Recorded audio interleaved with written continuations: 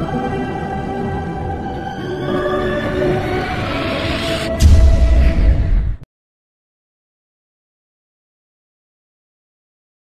guys, jumpa lagi dengan Pak Guru Toto. Semoga semuanya masih tetap sehat, tetap semangat, dan siap belajar. Oke, kali ini Pak Guru Toto akan membahas materi tentang kedudukan dua lingkaran ya guys.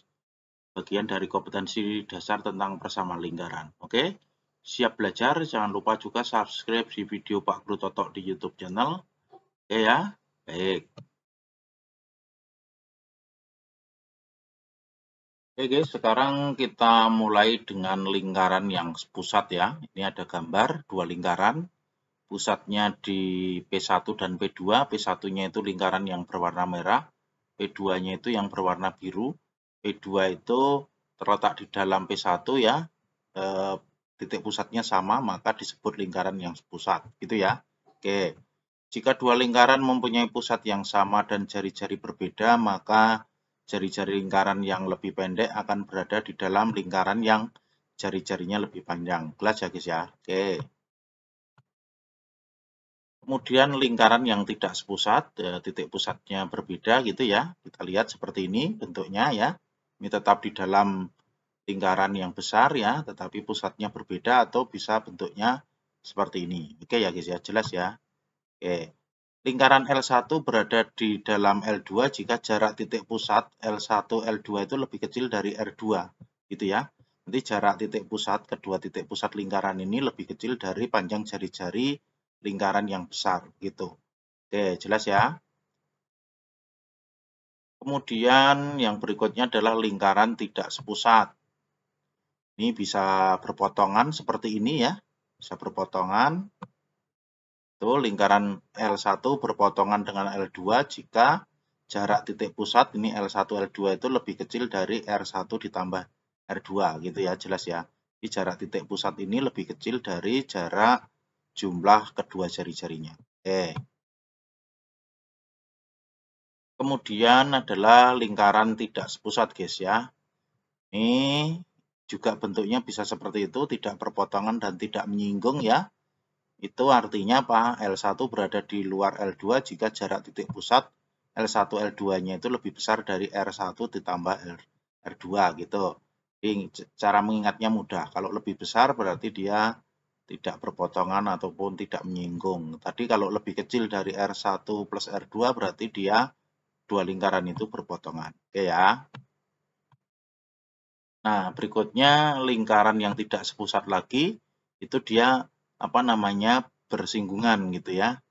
Ini cara mengingatnya juga mudah ya. L1 L2 itu sama dengan R1 ditambah R2. Saya ulang lagi ya, kalau L1 L2-nya itu lebih kecil dari R1 ditambah R2, maka eh, dia berpotongan. Dua lingkaran itu berpotongan. Kalau L1 dan L2 itu lebih besar, maka eh, tidak memotong maupun tidak menyinggung. Kalau sama dengan berarti dia e, bersinggungan. Itu dua lingkaran itu tidak sepusat. Itu ya guys ya. Oke. Nah, sekarang lihat contoh yang pertama guys. Tentukan kedudukan lingkaran L1 x kuadrat plus y kuadrat min 4x min 2y min 4 sama dengan 0 terhadap lingkaran L2 x kuadrat plus y kuadrat min 4x min 2y min 11 sama dengan 0. Kita cari dahulu titik pusatnya. Kita cari titik pusat lingkaran yang pertama L1 ini adalah, ingat ya caranya min setengah A, min setengah B berarti 2,1 gitu ya. Ingat caranya ini. Oke. Kemudian R1-nya adalah ini dikuadratkan, kemudian dikurangi minus 4. Sama dengan 3. Oke, kemudian L2-nya setengahnya min 4 itu adalah 2, setengahnya min setengahnya min 2 adalah 1 berarti pusatnya di 2,1 gitu ya guys ya. Oke kemudian jari-jarinya R2 adalah akar dari ini dikuadratkan kemudian dikurangi dengan min 11 ketemunya 4 nah dapat disimpulkan bahwa L1 dan L2 ini pusatnya sama ya pusatnya sama ini. Kemudian eh, lingkaran yang pertama itu di dalam lingkaran yang kedua begitu. Simpulannya seperti itu. Oke guys paham ya? Baik.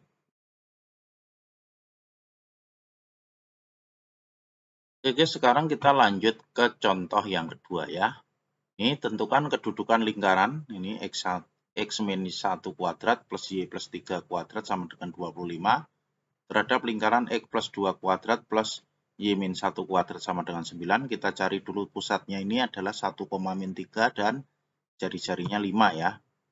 Jadi seperti itu, P-nya adalah pusatnya adalah 1, min 3, jari-jarinya akar dari 25. Oke, kemudian L2-nya adalah minus 2,1 pusatnya, jari-jarinya 3. Kemudian kita cari jarak antara titik pusat ini P1 dan P2 itu minus 2 dikurangi 1 kuadrat ditambah 1 dikurangi minus 3 kuadrat. Ini tuh 9 ditambah 16 sama dengan akar 25 sama dengan 5. Oke ya. Berarti L1, L2 atau jarak dua lingkaran itu, titik pusat dua lingkaran itu eh, lebih kecil dari jumlah jari-jari gitu. Nah, maka lingkaran L1 dan L2 itu berpotongan. Gitu ya guys ya, cara uh, menentukannya. Oke, kemudian kita lanjut ke contoh yang ketiga guys. Tentukan kedudukan lingkaran X kuadrat plus Y kuadrat min 4X min 12Y plus 36 sama dengan 0 terhadap lingkaran X kuadrat plus Y kuadrat min 20X plus 64. Nah, kita cari lagi pusatnya guys ya. L1-nya ini pusatnya adalah min setengah A, berarti min setengah kali 4 itu uh, kali min 4 itu adalah 2. Kemudian min setengah kali min 12 itu 6, berarti pusatnya 2,6. Ingat ya guys ya. Oke, kemudian jari-jarinya adalah ini dikuadratkan, ditambah ini kuadrat, seperti ini dikurangi 36, berarti akar 4 sama dengan 2. Oke. Sekarang lingkaran yang kedua guys. Itu min setengah kali min 20 berarti 10. Eh, yang koefisien Y-nya 0 berarti 10,0 gitu ya guys ya. Oke. Kemudian R2-nya adalah ini dikuadratkan 100 ditambah 0 kuadrat dikurangi 64 ini ya. Oke, kemudian ini eh, akar 36 itu 6. Oke ya. Kemudian P1 P2 ya. P1 P2 itu ini 10 dikurangi 2 kuadrat ditambah 0 dikurangi 6 kuadrat ini adalah 64 ditambah 36 itu akar 100 sama dengan 10. Nah, ini dapat disimpulkan bahwa L1 L2 itu ini 10 itu lebih besar dari 6 ditambah 2 ya kan? Itu maka lingkaran L1 dan L2 itu tidak berpotongan dan tidak bersinggungan gitu ya. Jadi lingkaran satu di luar lingkaran dua. Oke guys ya, paham ya? Ini adalah lingkaran yang tidak sepusat juga. Oke. Oke, sekarang kita lanjut ke contoh yang keempat ya guys ya.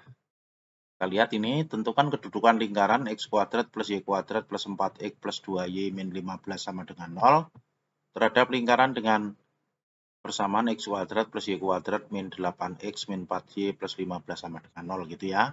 Kita cari dulu titik pusatnya L1 dan pusatnya L2, kemudian jari-jari R1 dan R2-nya. Oke, kita lihat seperti ini. Ini maka min setengah kali 4 berarti minus 2, min setengah kali 2 itu min 1. Oke ya. Kemudian R1-nya adalah ini dikuadratkan kuadratkan dikurangi minus 15. Oke, menjadi ini kan 4 ditambah 1 ditambah 15 itu akar 20, akar 20 itu 2 akar 5. Itu ya. Kemudian L2-nya guys, pusatnya adalah min setengah kali min 8 itu 4,2 gitu ya. Kemudian jari-jarinya R2-nya adalah 4 kuadrat ditambah 2 kuadrat dikurangi 15 sama dengan akar 5. Oke ya.